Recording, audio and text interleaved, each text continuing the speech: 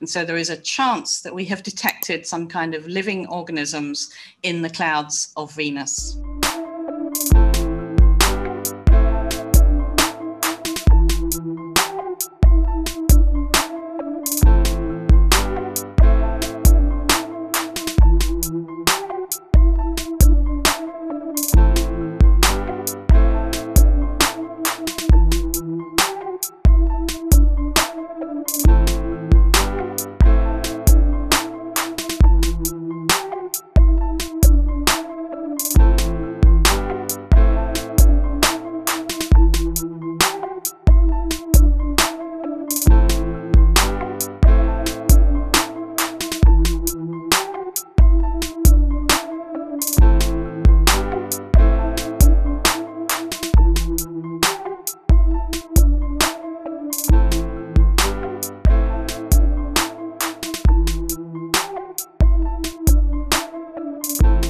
We're here to tell you we have detected a rare gas called phosphine in the atmosphere of our neighbor planet, Venus. And the reason for our excitement is that phosphine gas on Earth is made by microorganisms that live in oxygen free environments. And so there is a chance that we have detected some kind of living organisms in the clouds of Venus.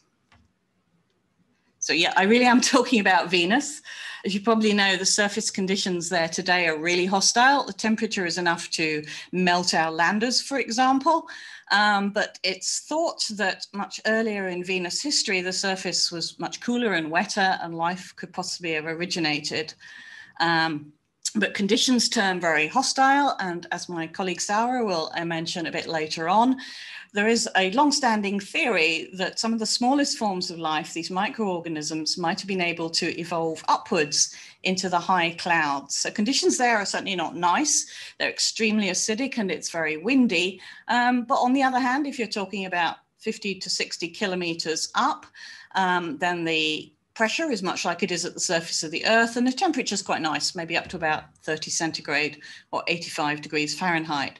So it's been hypothesized that this is a living habitat today.